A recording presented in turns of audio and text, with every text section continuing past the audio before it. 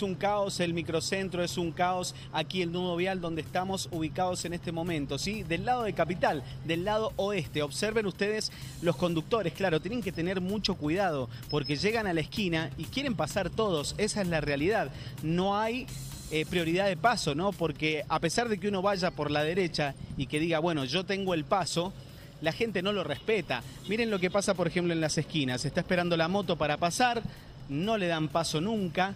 Y claro, así se pueden llegar a producir accidentes en todo el microcentro. Hay que tener mucho cuidado a esta hora. Para colmo se está acercando a la hora en el que salen muchos comerciantes de trabajar. Por lo tanto, se va a poner aún peor la situación, Noelia. También lo que veíamos no solo afecta al tránsito, sino también muchos negocios que no están funcionando porque tienen que cobrar, por ejemplo, con tarjeta eh, o cobrar a través de eh, las computadoras que no les están funcionando porque están sin energía. Entonces, bueno, se complica bastante la situación para tenerlo en cuenta entonces. Es interesante lo que está señalando porque tal vez sea eh, uno de los tantos puntos neurálgicos, sabemos que no se puede en todos lados, pero en algunos puntos más complejos o conflictivos en cuanto al tránsito, donde habría que enviar o algún efectivo de la policía vial para ordenar un poco el tránsito o mismo a los preventores en aquellos departamentos que tienen preventores.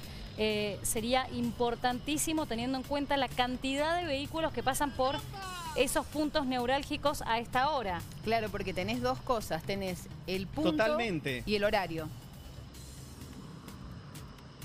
El punto, el horario, Marcela y Noelia. Eh, también lo que veía, que no es solamente aquí donde estamos ubicados, y esto para que lo tengan en cuenta también los mendocinos, es en todo el microcentro, ¿sí? Están todas las calles iguales, ¿sí? Están todos los semáforos sin funcionar, hay personas que paran pensando que es solamente su semáforo porque no se han enterado de la situación, y no, los otros conductores advierten y le tocan bocina para que avancen, ¿me entienden? Hasta esto se produce. Otro de los conflictos acá interno, pero que vale la pena destacarlo, aquellos trapitos que trabajan, por ejemplo, eh, en las esquinas con, eh, limpiando los vidrios, por ejemplo, eh, no lo están pudiendo hacer porque directamente los autos pasan, nadie se para y hasta nosotros se nos acercaban y nos preguntaban qué es lo que está sucediendo o si sabíamos si iba a continuar durante muchas horas este corte de energía, porque claro, es el, el trabajo de ellos no en esta zona donde estamos ubicados.